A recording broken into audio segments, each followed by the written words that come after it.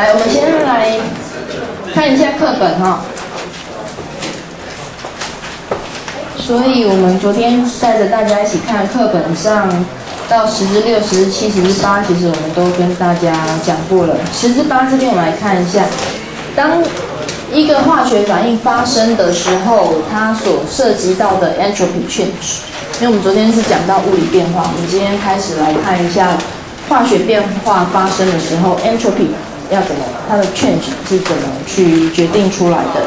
那其实这个可以从很直观的先去了解，啊，直观的去了解。通常化学反应发生跟物理变化，物理变化它最大的区别是什么？物理变化跟化学变化最主最重要的差别在哪？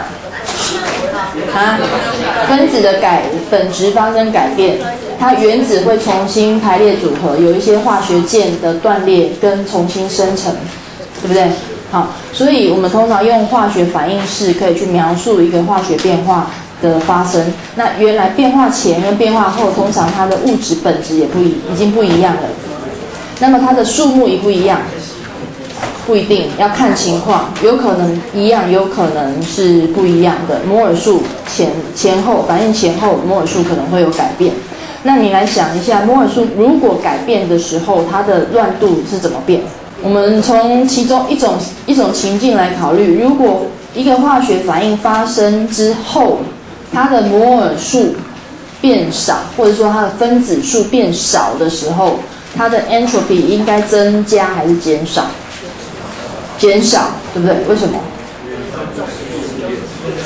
总数变少，所以它的几率，它的可能存在的微状态的数目是不是就变少？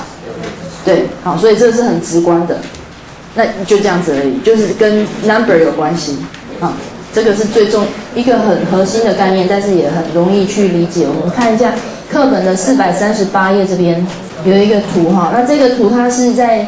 谈那个 ammonia 氨它的合成的过程，氨是怎么做的？怎么产生的？氮气跟氢气啊，一摩尔的氮气，或者是你用个数也可以来描述，一个氮气加上三个氢气分子，可以产生出两个氨分子，对不对？好，所以你看这一个图有没有？是不是几比几呀？它现在这里面有几个氮？三个氮。三个氮啊，几个氢？算一下，九个，所以比例是不是刚好？好，然后反应过去之后会变成几个氨？啊，现在是六个氨，哎，六个氨，啊，反正它们就是一比三，呃，一比三的氮跟氢，然后产生两个分子的氨这样子，好，那个比例，所以你可以看到它反应后的分子数变少了，分子数变少了嘛？那所以也很容易去理解，它的乱度就变小，啊，乱度变小。那所以你看到课本这边有一个叙述哈，fewer gases molecules，越少的气体分子表示的是 fewer possible configurations，越少的可能性的这种组成，它的微状态，它的微状态的数目就变少。所以这个跟它的 positional probability 有关系。那这边后面有一个，下面这边哈，你看一下那个斜体字的部分，就通常啊 ，when a reaction involves gases molecules，画斜那个斜体这边你自己画线或者是标注一下哈，the change in positional probability is dominated by the relative numbers of molecules of gases, reactants and products。看懂哈？它的那个 positional 的几率的改变。主要是跟这个气体分子它的反应物还有产物 相对的数目来决定的，OK。好，If the number of molecules of the gases products is greater than the number of molecules of the reactants，那么 positional probability 就会增加，增加表示的是它的 entropy 是增加的。好，我们来看一下例子好了，像下面。这边有两个反应哈，我们看一下，先先看 CaCO 三，这个是什么？碳酸钙，碳酸钙的固体，然后反应之后，它会分解变成氧化钙跟 CO2，对不对？所以它的乱度是增加减少？增加的。那第二个呢 SO2 二氧化硫的氧化啊，两个 SO2 跟一个氧分子反应变成二 SO3，减增加减少，减少，好，那个直接很直观的就可以判断出来。好，然后四百三十九页这边提到了热力学的第三定律，这个我们之前讲过了，对不对？第三定律记得讲什么吗？第三定律，热力学的第三定律给了 entropy 一个绝对的定义。这绝对的定义，绝对的定义是定义在哪里？在完全完美的、完美的晶体在零 K 的时候，它的排列，因为它是绝对的完美，所以完美只有有几种可能性，只有一种可能性嘛，所以它有没有乱度可言？没有乱度可言。在零度的时候有没有动能？没有，它也不会动，然后又完整的排列，所以这个时候的定义是绝对的，绝对零度的时候，它的 entropy 是是零，这就是热力学第三定律，它给了那个 entropy 一个绝对值，绝对的定义，但是这个绝对值是永远不可能达到的。OK，好，所以这个是热力学第三定律哈，所以我们现在热力学已经讲了四个定律都讲完了，好。哪来的四个？还有一个第零定律哈，A 等于 B，然后 A 等于 C 的温度的时候，那 B 跟 C 就是相等的。哎，好。好，那我们来看一下，那 entropy 怎么去做计算？怎么去计算？既然有了一个绝对值嘛，好，有一个绝对值，所以我们如果说在一个特定的温度压力的时候。那通常是在标准状态的时候，我们上面会标一个零，表示的是 standard entropy values 啊。S 零的时候，有看到课本上吗？四百三十九页下面这边啊，standard entropy values 是用 S 零表示，它表示表示的是什么？standard 标准状态，两百九十八 K 室温室压下的 entropy 是 S 零好，EATM 两百九十八 K 的时候。是标准的状态下的 entropy，OK。好，那 entropy 它是一个，是不是一个状态函数？是，它是一个状态函数哈。Entropy 是状态函数，所以一个化学反应它所涉及到的 entropy change 我们怎么算？因为它跟路径无关嘛，它只跟状态有关，所以你只要知道你起始的反应物的状态。跟最终的产物的状态，你就可以去算出来一个化学反应它所涉及到的 entropy change。好，那公式在四百四十页这边，后来的减原来的。好，就是那个画黄框黄底的这边哈，一个化学反应的 entropy change 是等于它的后来的就是产物。那如果有好几个产物，就是都加总起来，然后减掉反应物，全部加总起来。啊，就是这么简单。那它如果刚好有又有给你它的所在状态是标准状态，它上面会标一个零；如果不是，那就没有标，但是算法都一样。OK，那我们来看一下例题的十之七，这是一个例题。好，要你去 calculate the entropy change for the reduction of aluminum oxide by hydrogen gas，就是呃三氧化二铝啊，氧化铝跟氢气反应之后。它还原变成铝加水，好，那怎么算？怎么算？它给你一个表嘛，那每一个 species 它的 S 零，S 零就是它在标准状态的时候，每摩尔每 Kelvin 多少焦耳？好，S 零这个是 S 零的单位对吧？S 零是有单位的，啊，你怎么知道它是每摩尔每？每 Kelvin 多少焦耳？啊，哎，对，从从它的定义这边你就可以看出来了嘛，对不对？每 Kelvin，因为它的分母是温度啊，所以温度是每它在分母，然后 Q 是热量，所以通常一般惯用的是焦耳啊。每 Kelvin 多少焦耳？那如果你是针对一摩尔的话，那就是每摩尔每 Kelvin 多少焦耳？这个是 entropy 的单位。好，那你就把这边加总起来。那你要注意一下它的系数哈。所以产物有包括了铝，好，所以你看一下下面是铝的两摩尔乘上铝的那个 standard entropy 是多少？二十八，对不对？然后加上三个水嘛，啊，所以水的你再对照一下是一八九，啊乘以三，这个部分是产物的，然后扣掉反应物的是那个氧化铝跟氢，所以减掉三摩尔的那个氢，好，氢的就再对照带进来。然后那个三氧化二铝的带进来，加总起来就得到这个化学反应的总 entropy change。好，就这样算出来了。但是算出来还不够，我们有那个探求世间真相的的那个精神。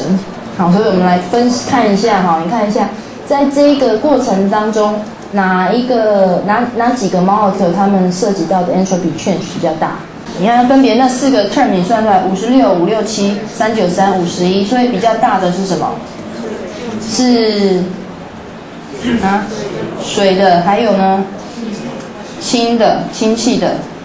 你从这两个来看，对，它们是气体，气体的乱度是比较大的，对不对？好，固体。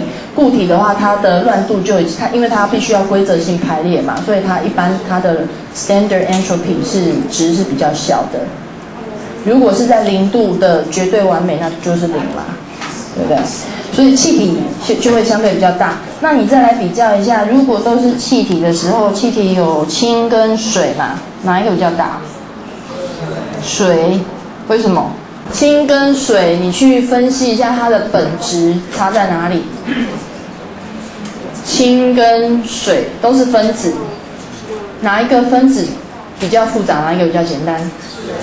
水是比较复杂的，对不对？水它涉及到的是有它的内部的振动结构，而且它的结构本身又比氢，氢是双原子分子，对不对？啊。所以你它本身结构越复杂的时候，它的乱度就也越大。所以你看到下面这边有一段叙述哈，通常 the more complex the molecule, the higher the standard entropy value。它本身分子结构越复杂的时候，它的标准熵值，标准熵哈就是 standard entropy 会越高啊，因为要考虑到它的 internal motion。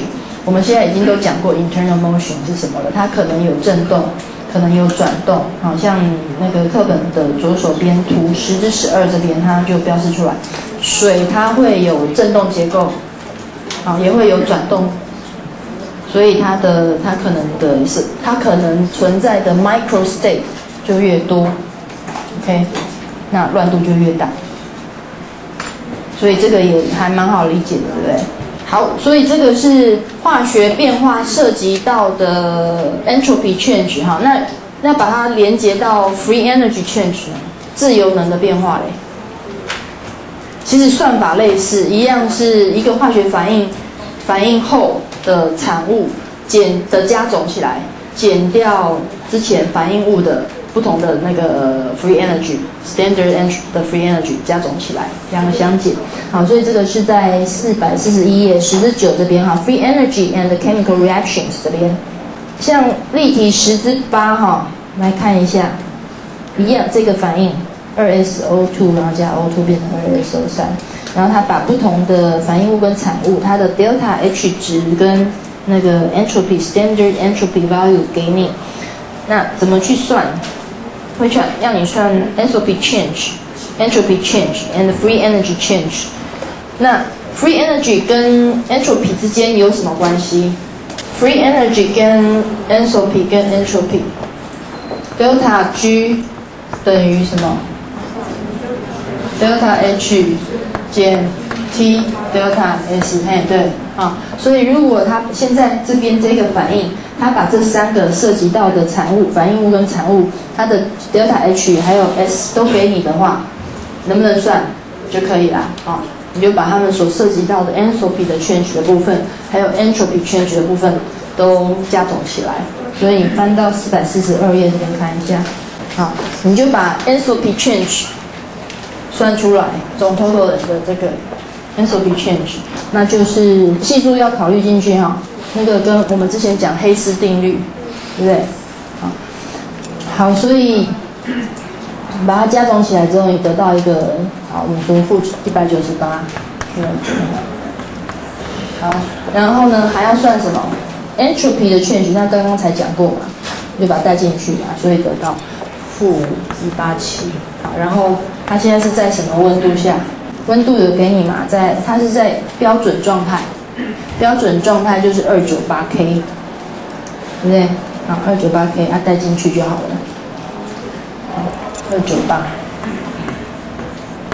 让这个，然后单位要注意哈，单位到底是 joule 还是 kilojoule，这个都要注意好，然后你就可以算出来，就是它 G 的值等于负一百四十二 kilojoule，所以。算出来之后，你能不能去判断这是一个自发还是非自发的反应？是负的嘛？不能是自发，哈，负的是自发反应。好，那那个 free energy 是状态函数还是非状态函数？啊？状态还是非状态？状态函数。好，所以那个例题十九哈，你自己可以看一下。一个，我们来看，一起看好了，一起看，来看。